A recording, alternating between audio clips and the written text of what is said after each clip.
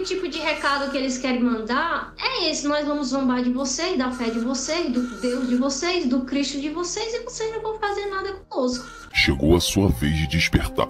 Você que acompanha esse canal está cansado de tanta censura. O que realmente está por trás do que as pessoas chamam de teoria da conspiração.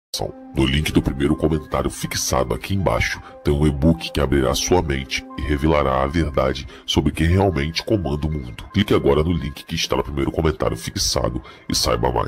Já que você falou também dessa questão aí das Olimpíadas, você viu a, a, a mesa lá? O que, é que você achou? Você achou que, que era algo relacionado mesmo a uma afronta à, à ceia de Jesus?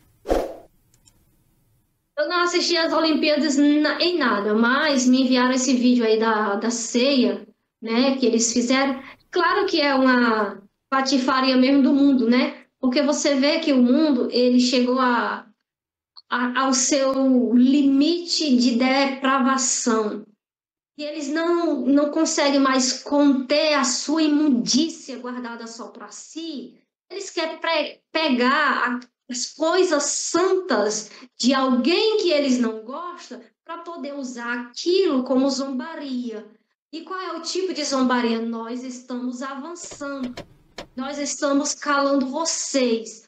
Nós podemos fazer o que quiser com coisas que vocês gostam e vocês não vão poder fazer nada conosco. Então, isso também refere que hoje nós estamos no tempo do reinado das trevas, porque você vê que essa bagunça de zombar de Jesus se tornou mundial, né? Se tornou mundial. Qualquer pessoa se sente livre demais para zombar de Jesus, mas não pode dizer nada com eles, porque senão tem processo, né?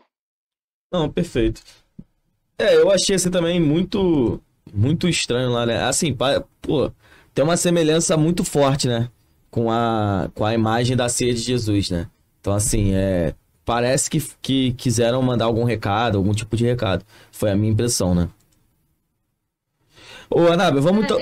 Pode falar. Eu acho, que, eu acho que o tipo de recado que eles querem mandar é esse: nós vamos zombar de vocês, da fé de vocês, do Deus de vocês, do Cristo de vocês, e vocês não vão fazer nada conosco. Vocês estão rindo de nós. É isso. Sim. A galera que tá falando aqui que você ia falar sobre as Olimpíadas, o pessoal tá falando que o final das Olimpíadas foi pior do que o que aconteceu antigamente, é, antes, né? Que foi aquela, aquela parte da mesa. Eu não é. vi o que aconteceu no final. Você é, viu? porque o que acontece? Eles colocaram um cavalo branco igualzinho Apocalipse no 6, final, né? no encerramento? Foi, se não me engano, foi no encerramento. Um cavalo branco e as nações seguindo esse cavalo branco. Que de fato. E assim, é bem, bem simbólico mesmo o que aconteceu no Apocalipse 6.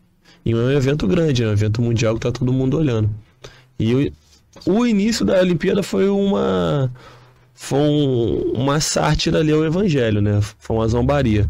Mas o final acho que já foi um anúncio de que o fim dos tempos está próximo. Eu enxerguei assim, você enxergou diferente, Anami? É... Bom, eu não assisti às Olimpíadas, eu vi essas cenas. Eu vi a cena da mesa e eu vi a cena desse cavalo. Na verdade, eu não vejo um cavalo branco, eu vejo um cavalo prateado. Mas, assim, eu não sou muito de pegar é, essas, essas figuras e levar para a Bíblia. Porque se eu fizer isso, eu vou fazer com todas as Olimpíadas, com todo o carnaval, com todo o evento. Porque se você lembrar bem, a Copa do Mundo, se eu não me engano, foi no Catar. Foi. Não sei qual foi o ano. 2022. Copa...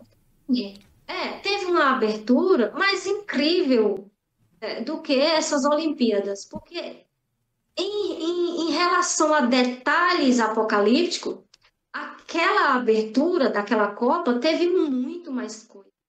Teve muito mais cenas que refletem. Teve sim cavalo branco, teve o cavalo vermelho, teve o amarelo, teve todos os cavalos lá. lá naquela... Vocês vê de novo essas imagens. Né? Teve um menino que chegava e a multidão estava clamando a ele. Então, se eu for pegar realmente esse cenário de, de, de Olimpíadas, de Copa, e levar para Apocalipse, claro que vai me, me mostrar um cenário profético, mas eu não posso pegar o acontecimento do Catar e dizer que o anticristo vem do Catar. Do mesmo jeito, eu não posso dizer, ó, porque a, as Olimpíadas foi na França, então é o Emmanuel Macron. Então, eu não posso condicionar os eventos, é, essas simbologias, à pessoa do anticristo, porque até porque a Bíblia fala que ele vem caladamente. Ninguém sabe ainda.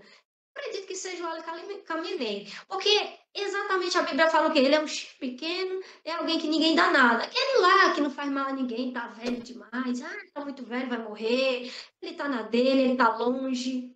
Mas quando você vai pegar sobre o anticristo, eu gosto de pegar o texto de Apocalipse 9. Apocalipse 9 vai me dizer que tem quatro anjos presos ao, junto ao rio Eufrates. E o rio Eufrates, ele começa na Turquia, ele passa pelo Iraque, esqueci o nome do outro, e termina no Irã.